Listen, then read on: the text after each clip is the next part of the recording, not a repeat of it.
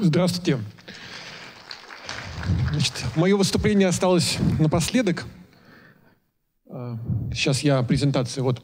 А, конечно, я понял, что здесь очень подготовленная аудитория, поэтому вопрос э, мечтатель или пророк, он слишком прост. Да, это ложная альтернатива, поскольку, как вы понимаете, истина всегда лежит где-то посередине. Поэтому я решил э, усложнить э, комментарий к Лавкрафту, э, нужна ли нам новая мифология, потому что, когда мы говорим, что Лавкрафт был мечтателем, это означает, что он создавал какую-то ложную видимость, иллюзорность какую-то. Когда, если мы утверждаем, что Лавкрафт был пророком, то это утверждает о том, что, точнее, наше утверждение содержит а, высказывание о том, что он открывал какую-то новую реальность, о чем-то нас предупреждал. И, разумеется, это две альтернативы, они ложные. И правда, конечно, она где-то а, посередине. Поэтому, конечно, а, кто же такой был Лавкрафт? Так, сейчас... Так. Следующий слайд, пожалуйста, можно? Вот, а, я, конечно, э, Алексей Иваненко, да, я должен представиться. И я являюсь, э, конечно, кандидатом философских наук, доцентом, преподавателем, поэтому автором научных статей. Э, и вообще, как бы у меня интерес как философа слишком широкий. Я и искусство современное интересуюсь, и э, медиа, философии, но в том числе и современной мифологии, потому что э, Говард Лавкрафт — это не просто писатель в ряду других писателей-фантастов, которых действительно много. Если мы обратимся к книжным магазинам, увидим там полку фантастики, то там абсолютное необозримое количество литературы. И даже я могу сказать, что я с трудом в ней могу ориентироваться. Но Лавкрафт — это особый как бы писатель, потому что он является одним из основоположников жанра хоррор. А, и вообще как бы в философии принят такой подход, что чтобы понять какое-то явление, нужно обратиться к его истокам, к его началам, потому что проблема генезиса, она важна для всего, скажем, для искусства, для науки, для техники, ну и в том числе и для как бы, современного мира, современной мифологии.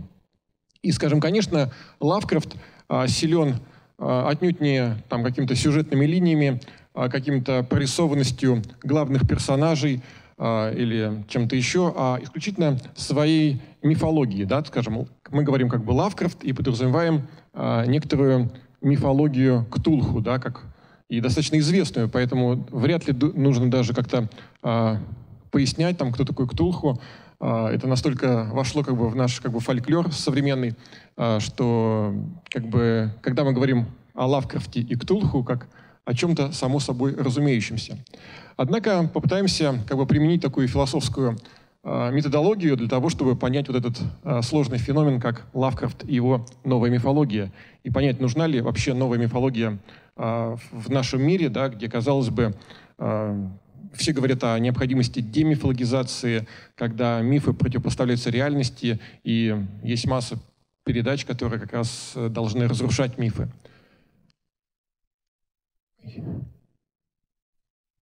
Вот, я освоился с этой технологией. Значит, смотрите, а, для того, чтобы э, понять Лавкрафта, да, нужно провести такое как бы компаративистское исследование легкое. Это сравнить его с другими аналогичными по статусу корифеями, а, ну, скажем, такими как э, Толкин, да, который написал «Властелин колец». Как минимум, да, он жил примерно ну, в то же самое время, в начале 20 века. И первое, что бросается в глаза, что Лавкрафт — это не Толкин — почему? Потому что а, Толкин, да, скажем, это действительно гуманитарий, профессор, а, который значит, э, обращается к германо-скандинавской мифологии, скрупулезно ее собирает. Известно, что авторитетом для Толкина был Леонард, который, который собрал Калевалу.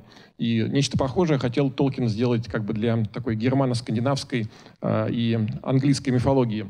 И, естественно, образы значит, Толкина его мифология, она не собственная, да? она пытается э, скрупулезно собрать и реконструировать вот эти образы гномов, э, гн, э, троллей, эльфов, драконов. И, собственно говоря, он такой вот настоящий фольклорист, такой Афанасьев, как, был, как вот был в России в XIX веке. А, что же делает Лавкрафт, да, скажем? Он совсем не интересуется вот этими троллями, эльфами и всей вот этой, ну не истинной, а исторической мифологии, которая существовала ну, в той же Европе или в других регионах мира. Что делает Лавкрафт? Он восхищается научной, научной теорией, научными открытиями. И вот предыдущий докладчик говорил о а, вот, коллаборации Art and Science, да, скажем, вот я, а, когда готовился к этой лекции, к этому докладу, а, вот тоже решил как бы через эту призму посмотреть свой доклад, свой материал, и я увидел, что Лавкрафт на самом деле тоже занимается вот этой коворкингом да, между артом и сайенсом, да, потому что он вдохновляется, разумеется, научными теориями. Скажем, все, ну, не все, а огромная масса его образов – она была вдохновлена научными открытиями. И вот самый такой известный, да, это а, планета Югот, а, которую он описывает а, в 30 году. Это девятая планета Солнечной системы, как он ее описывает, да, скажем. И самое интересное, что именно в 30 году ученые в Америке открывают Плутон как девятую планету Солнечной системы. И долгое время, до 2006 года, как известно, Плутон считался девятой планетой э, Солнечной системы, а сейчас он э, понижен в статусе до транснептунового объекта, да, из-за того, что там проблемы с атмосферой э, и, соответственно, строение там, планетарного ядра, ну, видимо, больше напоминает комету, нежели настоящую планету. Вот, но в любом случае а, вот Югот, да, это а, объект внешнего космоса, открытого космоса, а, с которыми, от которого нас могут ожидать какие-то угрозы и неприятности. Значит, поэтому действительно многие эти персонажи да, вот, лавкрафтской мифологии, они приходят на Землю как бы из открытого, из дальнего космоса. И, конечно, здесь э, он пытается увидеть в этом космосе прежде всего какой-то страх, ужас, источник а, опасности. Но если мы обратимся а, к современным средствам массовой информации, то нас постоянно как бы кормят э, вот этими возможными страхами, что какой-нибудь астероид прилетит на Землю, э, упадет и все здесь закончится. И при этом доказывают, что как когда-то закончилась мезозойская эра, там 65-70 миллионов лет назад.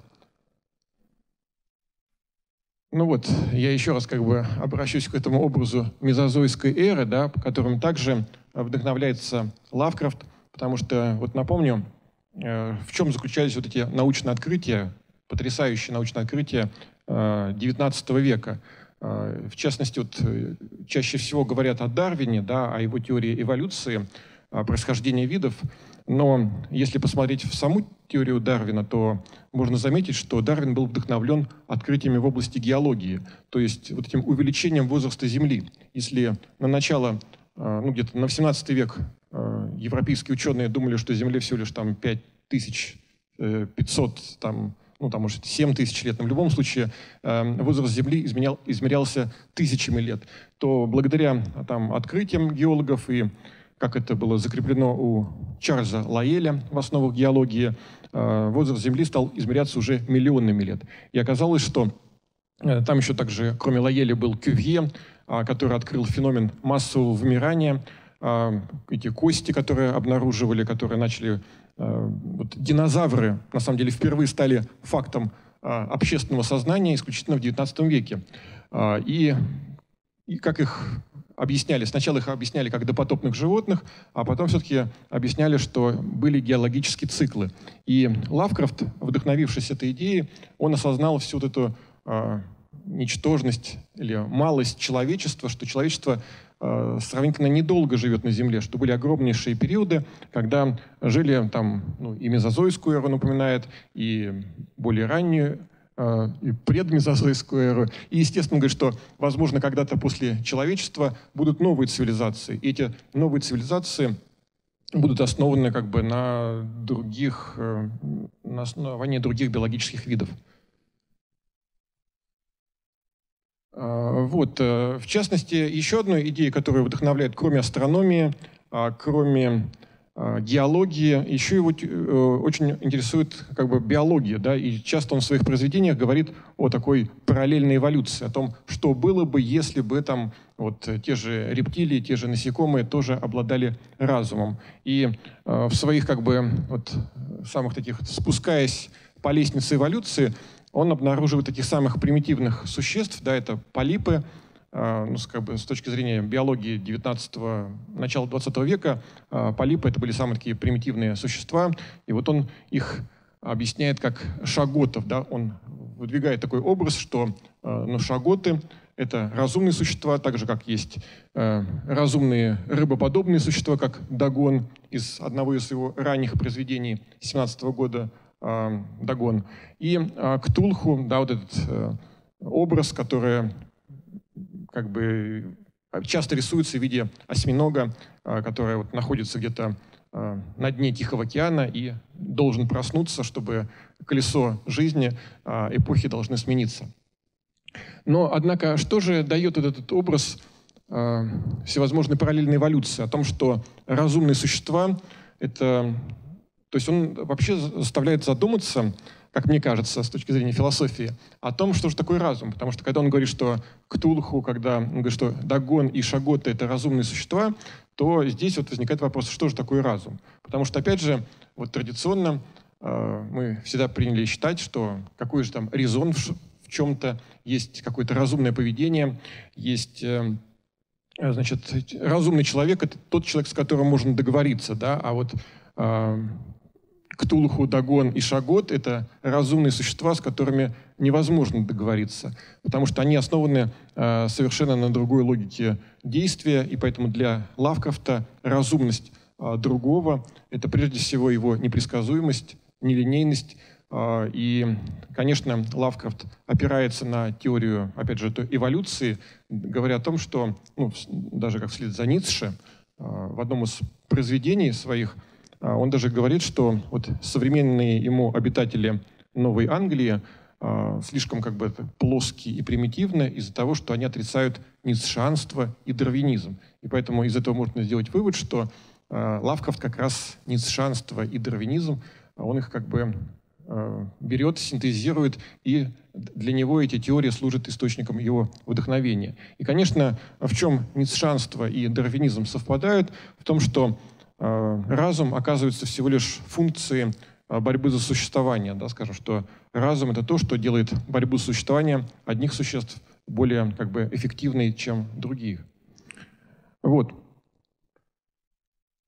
А, и, конечно, э, Лавкрафт как бы предсказывает или ощущает как художник, как поэт, как, писатель вот то, что называется кризис коммуникации, а вернее даже он его пытается просто э, проиллюстрировать. Да? А, и здесь вот можно сказать, что э, вот современная киноиндустрия, массовая индустрия э, даже Голливуда, э, фантастика, ужасы, она тоже опирается на образы, созданные Лавкрафтом. И вот, в частности, развитие темы Лавкрафта, оно наблюдается в образе чужого. Да, вот «Чужой» есть такой как бы известный фильм, все о нем знают, он же стал таким классическим, Э, Ридли Скотт 1979 года.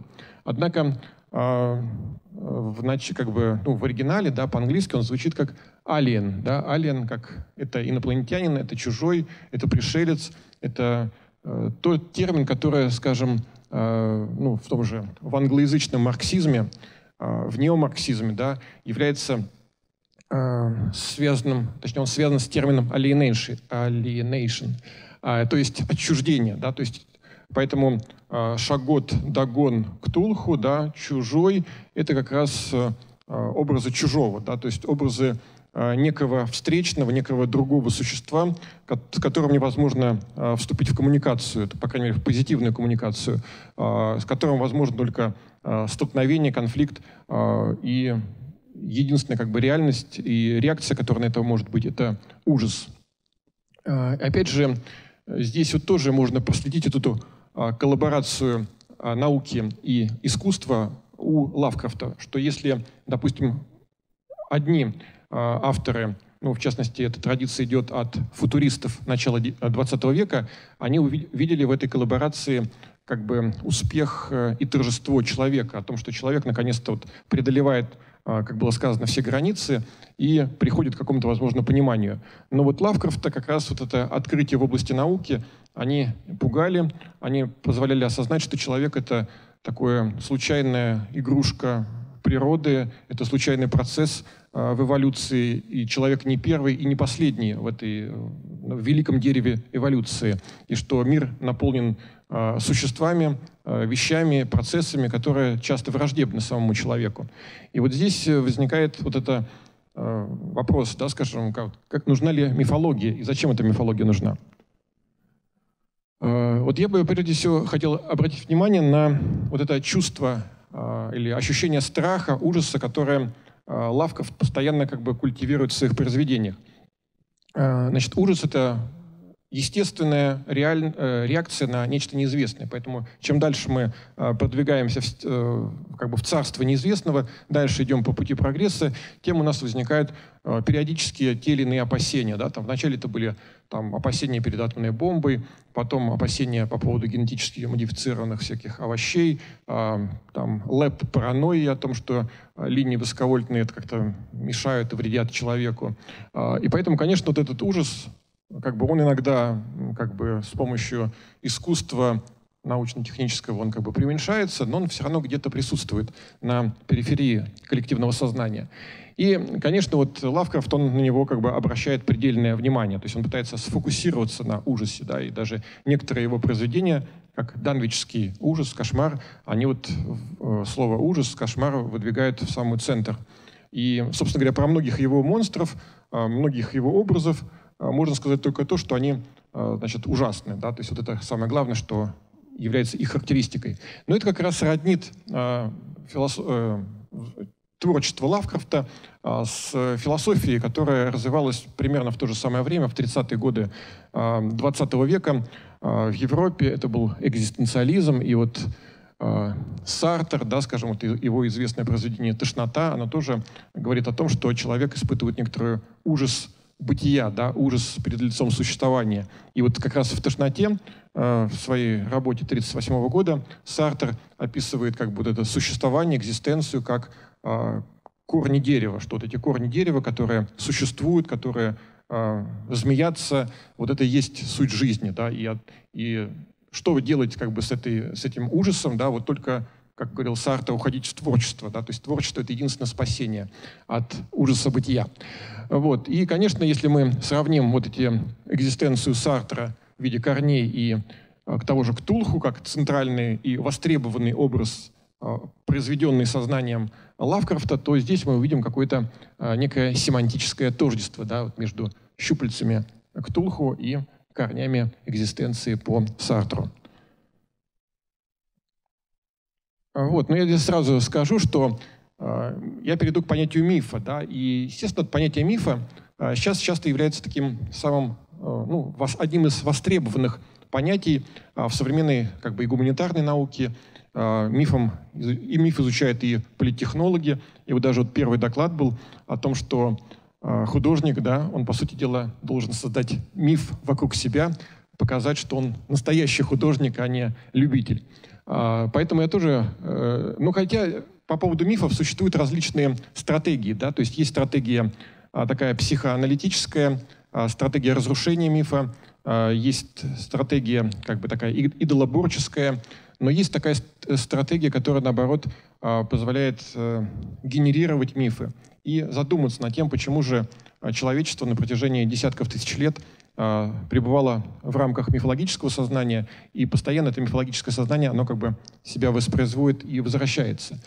Вот. А, если мы задумаемся, почему, какую роль выполняли мифы в древнем мире, они же, по сути дела, защищали сознание с, э, людей да, от, от, от внешнего ужаса. Да. Им нужно было как-то объяснить, как существуют э, силы природы, дикие животные. И поэтому любой мифолог поэты, которые создавали мифы, они, по сути дела, являлись культурными героями, которые охраняли сознание своих соплеменников от э, безумия, да, которое, в которое могло погрузиться общество. И поэтому такие, скажем, э, исследователи 20 века, как «Мир Челяды», они подчеркивают, что миф — это ну, как бы не ложь, да, скажем, а это некоторая такая сакральная, серьезная, фундаментальная история, которая э, позволяет человеку жить. Вот. И, собственно говоря, тот же э, Лавкрафт, да, он э, пытается реанимировать мифы. И как же, откуда же он берет свое, свое источники, свое творчество? Э, ну вот опять же обратимся к его базовому, ну или базовому, изначальному образу, который встречается в одной из его первых работ «Дагон» да, в 1917 году. Вообще «Дагон» — это как бы библейский образ, но достаточно маргинальный, встречающийся только один раз как некое божество филистимлян. Э, и при этом э, Лавкрафт производит такую деконструкцию, то есть он берет как-то мало востребованные существа и э, актуализирует их для современности, потому что Дагон — это водная стихия. И поэтому человек, э, Лавкрафт пытается примирить человека с этой водной стихией, с этим ужасом э, через как бы, свои произведения.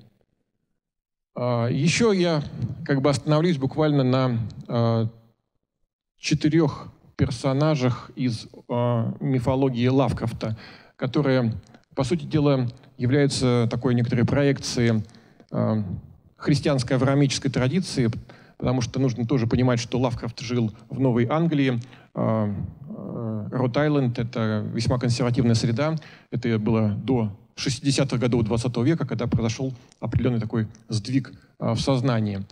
Э, и, скажем, один из ключевых э, персонажей, ну, кроме Ктулху, да, скажем, это Азатот. Азатот изображается как бог хаоса. Бог хаоса, который отражает как раз ту современную научную картину мира, а, которая говорит о том, что хаос существует на квантовом уровне, а, хаос существует в виде броновских движ... Э, частиц, и, собственно говоря, а, вся эволюция имеет не направленное движение вперед к торжеству человека, а некоторое такое хаотическое направление в разные стороны через приспособление к некой окружающей среде, которая никогда не пребывает в состоянии покоя. Собственно говоря, Дагон и Ктулху — это представляются как такие апокалиптические персонажи, которые должны прийти на заре человеческой истории и э, маркировать собой некий такой конец мира.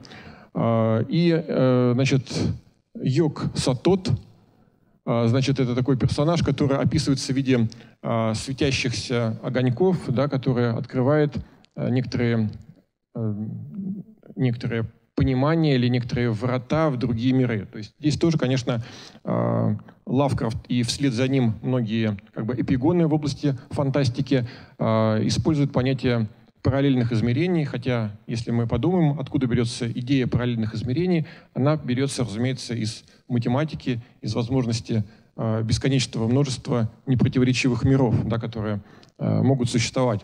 И даже физики, да, тоже с такими моделями работают. Хотя, конечно, они лишены вот той как бы красочности или литературщины, да, которые можем найти у фантастов. Вот. И э, Шубнигурат, да, это, разумеется, некоторое такое злое божество или демон, который тоже постоянно э, пребывает э, вместе э, с людьми и э, вводит их периодически в состояние ужаса, как и всякие другие произведения Лавкрафта.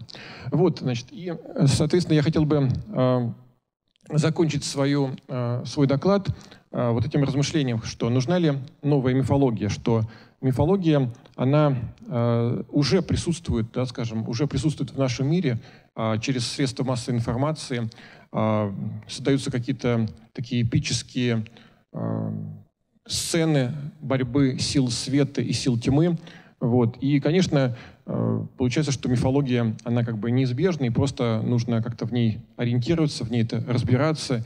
И такие мыслители и философы э, от литературы, да, как Лавкрафт в какой-то мере, оказываются вполне и вполне востребованными. Вот, собственно говоря, я хотел вот поделиться с вами именно такими мыслями о Лавкрафте, его творчестве, его источниках и, собственно говоря, необходимости новой мифологии.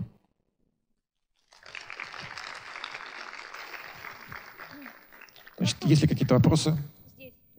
А, скажите, пожалуйста, а не кажется ли вам, что мифы – это отвлеченный маневр от э, того, чтобы люди не истребляли себе подобных. Ведь э, в природе, вот в биосфере Земли, единственный вид – это Homo sapiens, который истребляет в огромных количествах сам себя. Ну вот мне кажется, что э, Лавкрафт, он дает тему для размышления над разумом, да, и поэтому показывается, что разум, он деструктивен в какой-то мере. И если мы даже вспомним э, Архимеда, да, вот, и у него была такая фраза, что «дайте мне точку опоры, я переверну весь мир», да, скажем, и вот эта фраза «я переверну весь мир», она, конечно, страшная.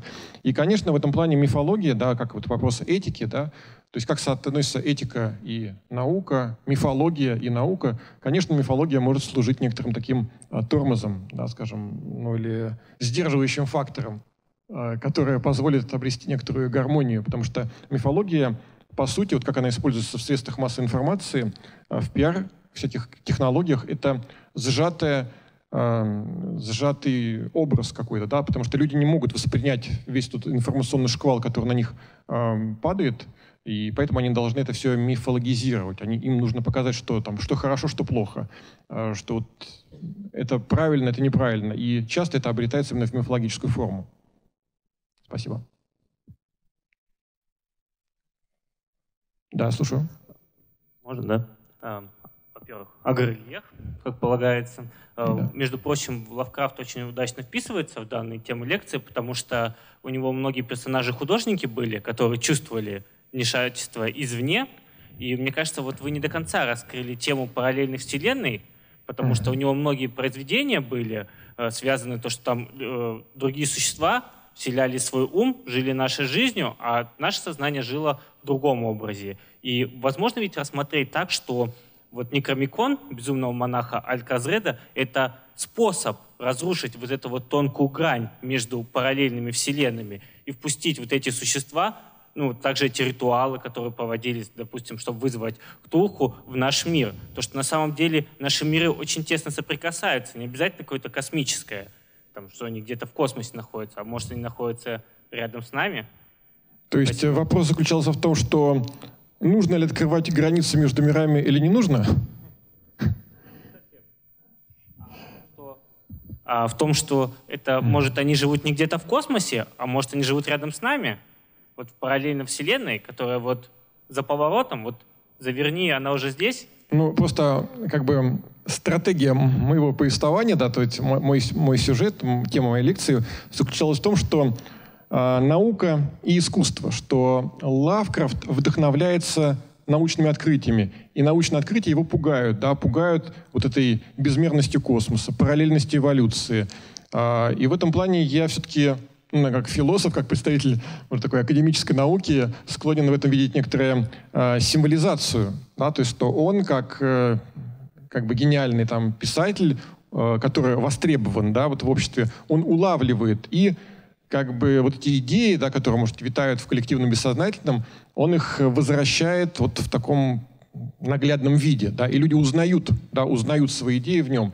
А, то, что какие-то конкретные, реальные э, параллельные вселенные, что там какие-то вот такие персонажи, как это надо рисуют в рекламе микробов, да, вот как эти шаготы, э, которые вылезут там и кого-то там щупальцами а, вокруг шеи там и съедят, то я, конечно, думаю, что нужно это понимать более символически, что называется. Здравствуйте, спасибо за лекцию. На самом деле я пришел, в принципе, только из-за слова «Лавкрафт». Спасибо. Э, и у меня такой вопрос. Э, знаете, Джозеф Кэмпбелл давно в своем труде «Тысячеликий герой» еще писал об космическом архетипизме вообще всего. И в целом вселенная Лавкрафта, ее можно поделить на две части. Это, собственно, история про Ктулху, да, и это цикл снов. И если истории про Ктулху это что-то типа э, жесткое и адское, что с нами будет э, в любом случае, а цикл снов это что-то в стиле «что будет, если мы будем себя хорошо вести и попадем, так сказать, в рай». Так вот, если э, поразмыслить над тем, нужна ли вообще новая какая-то философия, вам не кажется, что это и есть тот самый какой-то космический архетипизм наш в целом, вообще вот Лавкрафт? И чем больше будет грамотных адаптаций вот таких, э, тем будет лучше донести какую-то сакральную вещь до новых э, читателей, которые, возможно, еще не ознакомлены с какими-то низами.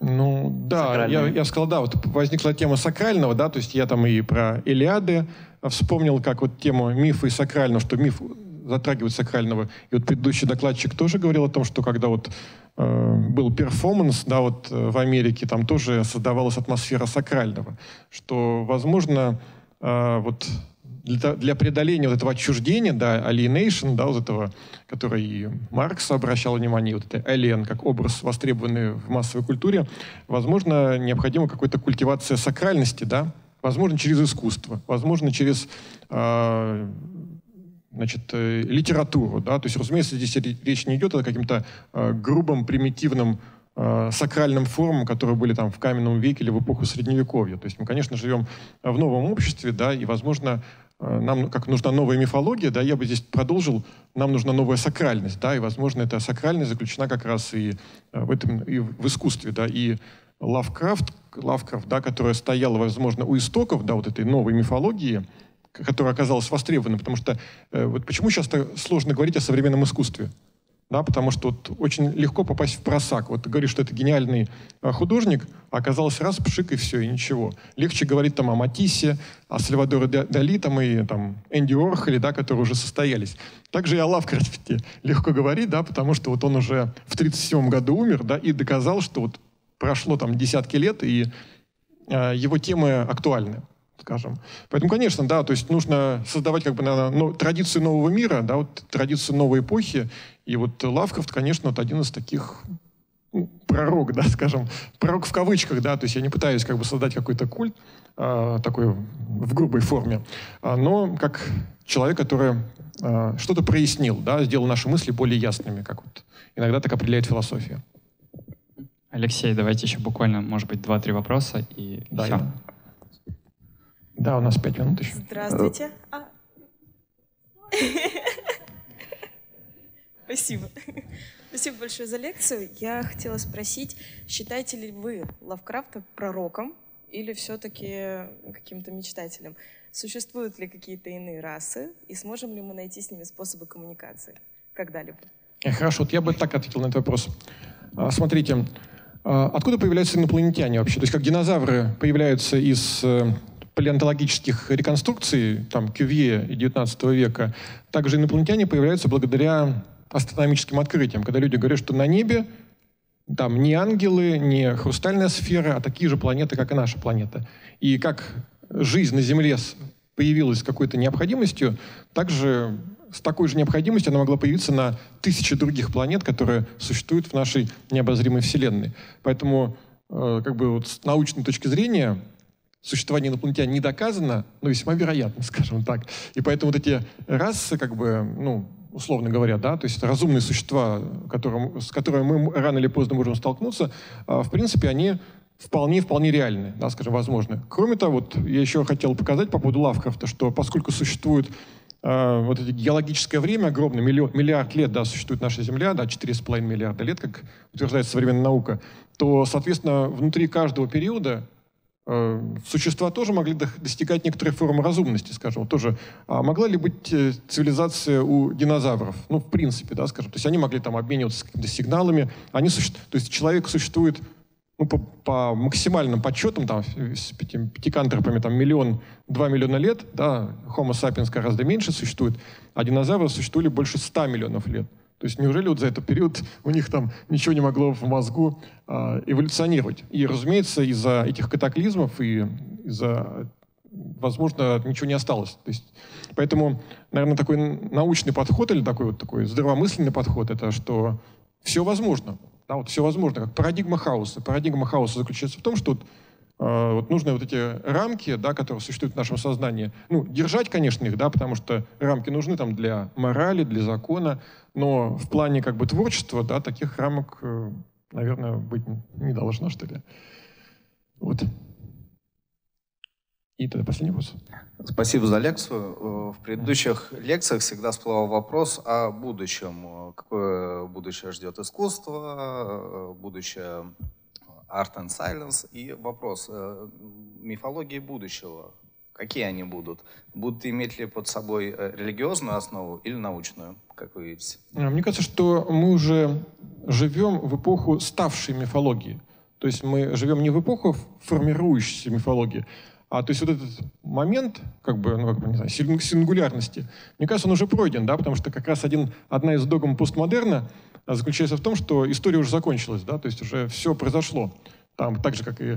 Поэтому э, какие мы видим образы, которые цитируются в массовой культуре? Там, это образ инопланетянина, как образ другого, чужого, образ зомби, да, как человека, который э, одержим некоторыми витальными потребностями, да, и там все эти фильмы про зомби, они вокруг какого-нибудь супермаркета а, как бы обнаруживаются. А, ну и какие-то роботы, искусственный интеллект, да, там та же матрица, значит, э, там, терминатор и так далее. То есть терминатор, зомби и, и, и пришелец. Как бы вот эти три а, образа, там, как Василий Иванович, там, Петька и Янка, скажем, пулеметчество, которые вот присутствуют в нашей культуре. И, возможно, а, они будут культивироваться и меняться, да, как вот как старая мифология первобытная, она там была десятками тысяч лет, так что вполне возможно, что эти образы при наличии такого ненарушенного развития, они тоже, возможно, будут на сотни лет, по крайней мере. То есть я бы так ответил на ваш вопрос. Да, конечно. А, здравствуйте. А, интересная была лекция, а, только один вопрос э, очень интересует. Соотношение творчества Лавкрафта и писателей разных очень интересно. Интересно еще соотношение творчества Лавкрафта и все-таки художников, а конкретно Гигера, а, по причине того, что произведение Ридли Скотта все-таки больше связано с творчеством Гигера. Поэтому а, как можно соотнести а, именно с художником? А, ну, потому что, во-первых, э, э, так часто получалось в европейской традиции, что художники иллюстрировали тексты. Да, это вполне нормально. Мы знаем, что это был библейский текст, и масса художников э, э, рисовали там тоже Богородицу, Иисуса и так далее. А, так же, как фантастика. То есть э, стержнем массовой американской культуры да, вот является, в принципе, фантастика. Да? Это самый такой экспортный вариант, один из экспортных вариантов американской литературы. А, там и Хайнлайн, там и Айзек Азимов, и вот Эдгара По можно считать там фантастом в какой-то мере, тоже можно считать фантастом. Вот, поэтому, конечно, э, сказать, что э, значит, создатели фильмов или создатели живописи не вдохновлялись этими произведениями, вряд ли стоит, потому что вот этот образ инопланетянина, вот заметьте, кем были инопланетяне э, до Лавкрафта, да, скажем, это марс, марсиане Герберта Уэллса, да, скажем, то есть буквально Герберта Уэллса от, отделяет от Лавкрафта, ну, там, кто такой был Герберт Уэллс? Э, старший современник Лавкрафта, по сути дела. Но для него были еще марсиане, а значит, у Лавкрафта это уже далекий космос. Это уже центры галактики, это уже какие-то темные планеты, темные звезды. То есть поэтому современный образ такого инопланетянина из дальнего космоса, не селенита с марсианином и венерианцем, он как раз э, формируется именно Лавкрафтом. То есть я так убежден, и, собственно говоря, вот другую промежуточную вот эту э, цепочку я вот э, как бы увидеть здесь не могу. Поэтому я думаю, что э, визуальный образ, он всегда идет, э, он вдохновлен текстовой культурой, текстовой традицией. Поэтому я бы здесь не стал бы здесь ставить э, какое-то различие, поскольку ведь искусство и культура, она стремится какой-то к целостности, какой-то к симфонии. То есть и музыканты, художники, э, литераторы, они часто как бы взаимоцитируют друг друга, и это совершенно нормально. Было бы странно видеть, что как бы искусство визуально развивается само по себе, а литература сама по себе. И вот как раз с точки зрения философии, философского метода очень заметно, как тот же экспрессионизм, э, там, литература ужасов экзистенциализм э, мыслили абсолютно в рамках единого ключа и в рамках единой парадигмы.